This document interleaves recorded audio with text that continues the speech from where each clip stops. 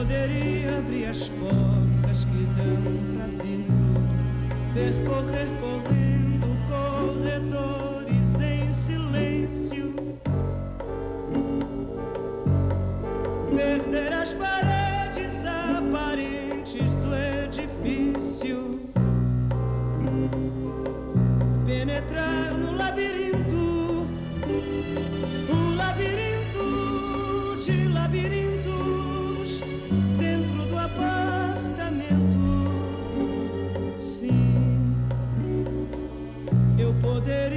procurar por dentro a casa, cruzar uma por uma as sete portas, sete moradas.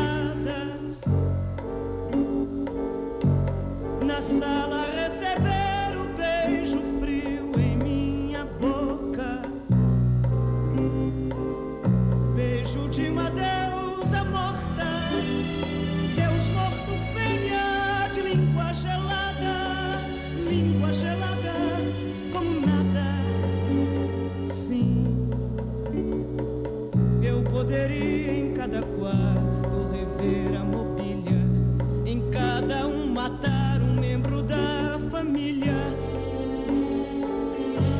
Até que a plenitude e a morte coincidissem um dia, o que aconteceria de qualquer jeito? Mas eu prefiro abrir a janela.